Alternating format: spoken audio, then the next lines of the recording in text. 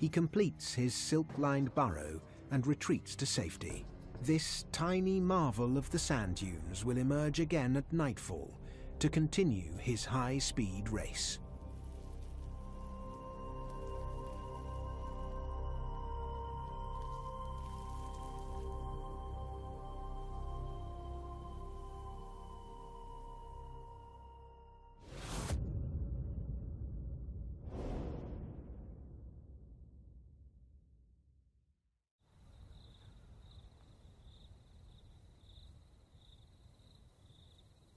The Australian desert is home to another gold medal runner of the animal world.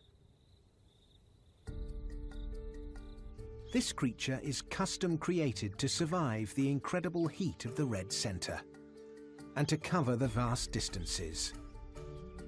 The red kangaroo. Big reds are the kings of the outback world.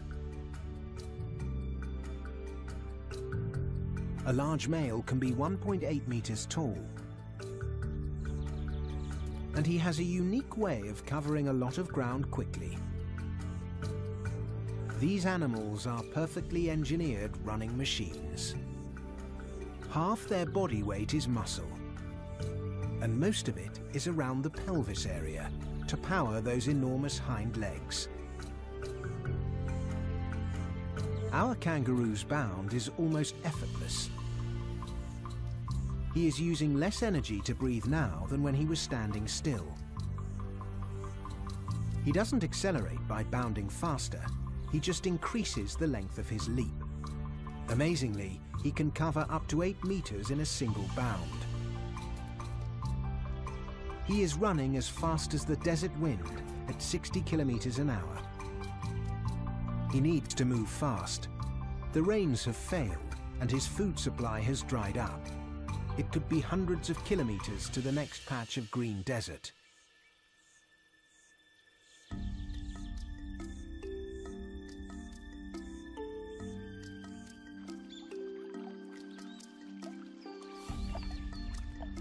Finally, food and water.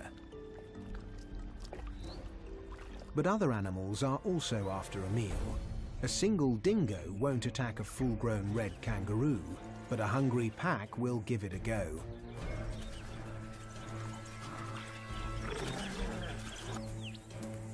As the kangaroo speeds up, so do the dingoes. But the wild dogs have to move their legs faster and faster to keep up. The roo is cruising. He can keep this up for as long as it takes.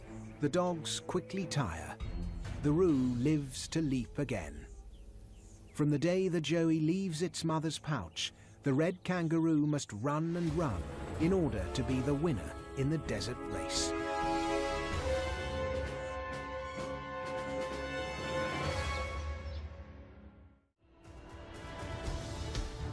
At the top of the athletic table, the speedsters are truly breathtaking. Animals faster than cars, more maneuverable than a gymnast, and with more clever moves than a dancer. These are the supreme athletes, perfectly evolved to win their races every day in the wild.